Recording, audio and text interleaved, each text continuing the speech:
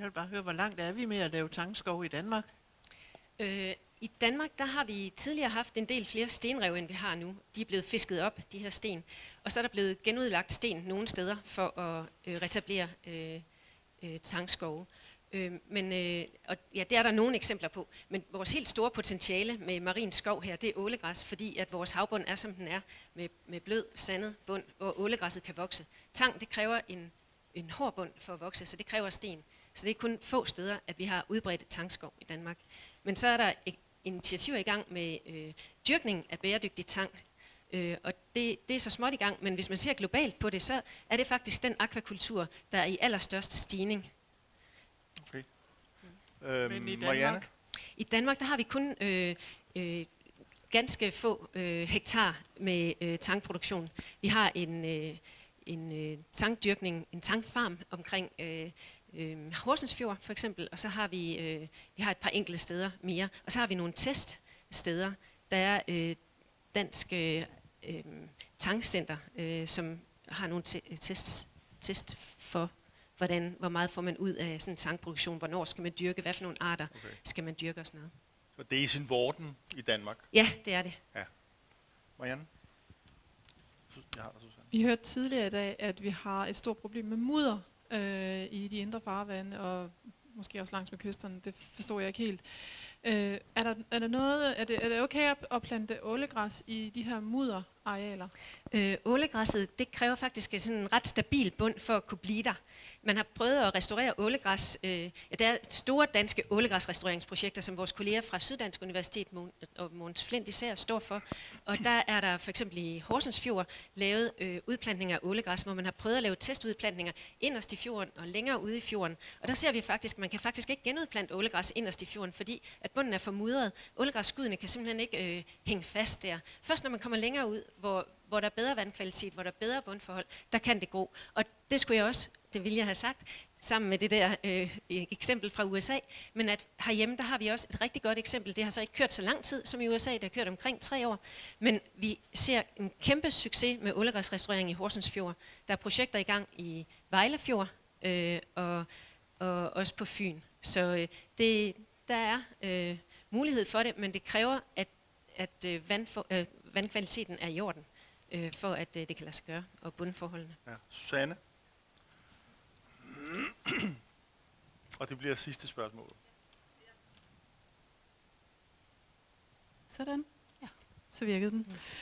Jeg tænker på rejsning af sådan nogle tankskove. Hvilke nogle kompetencer kræver det? Er det noget, hvor man kan tænke i omskoling og i øh, jobskabelse på den lange bane, hvis man har andre erhverv, som bliver klemt i, i led med, at man øh, laver klimaforanstaltninger? Hvem skal, hvem skal ind og, og udføre alt det her, hvis vi skal udbrede det? Øh, ja, det er et godt spørgsmål, fordi i modsætning til for eksempel muslingedyrkning, hvor man jo får en, øh, der kan man sælge sit produkt, så er det jo lidt svært at sælge en ålegræseng. Så der tænker jeg, det er vigtigt, at der kommer nogle mekanismer ind, der fremmer øh, lysten til at, at lave sådan en skov. Og det kan for eksempel være, at man får en gevinst for, at man tilbageholder noget kulstof og noget øh, kvælstof.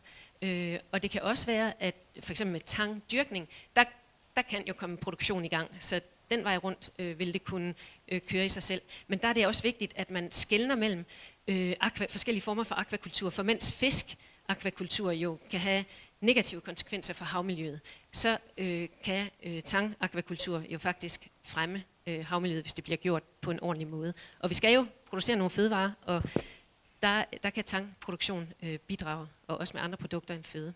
Mm. Til til at afslutte det her vil jeg spørge både dig, Catherine, og, og, og dig, Lotte.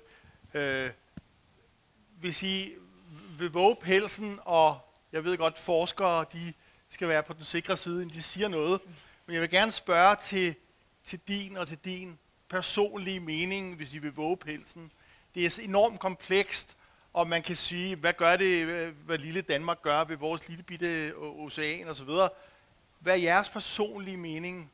Hvad bør vores borgere, som skal ind og snakke med politikerne, hvad skal de anbefale politikerne at gøre, at tænke på, at overveje, prioritere? Catherine?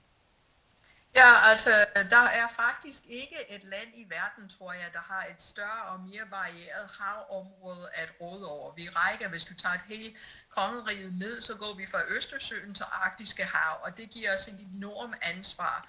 Men hvis vi kommer meget tæt på det danske, altså, altså her i Danmark og de indre danske farver, vi glemmer, at vi har fjernet faktisk næsten en tredjedel af det lavvandede areal, den, det, der under en meter, ved at lave landindvindinger for, for landbrug. Vi har brugt det jord, og vi er blevet rig på det. Det kan vi altså ikke mere. Altså det kan ikke betale sig at dyrke det, og der er afvandsstigninger, så den kommer til at give den tilbage til havet. Jeg synes, vi skal altså aktivt arbejde for at optage CO2 i de, og, og få naturen tilbage i de områder. Mange tak skal du have. Samme spørgsmål til dig. Jeg er helt enig. Jeg synes, vi skal bevare øh, habitaterne til vands og til lands, sørge for at bygge dem godt op, beskytte dem, sådan at de også kan være en buffer mod øh, klimaforandringerne. Og jeg synes, vi skal, øh, vi skal prøve at bevare dem ved at reducere næringsstoffer fra kilden, og i øvrigt øh, tage de tiltag, der skal til for at bevare dem. Og så, ja, så tænker jeg det med tankdyrkning, at det kunne man også godt fremme i vores farvande. Det tror jeg har et stort potentiale. Jeg vil godt sige mange, mange tak for jeres ekspertise.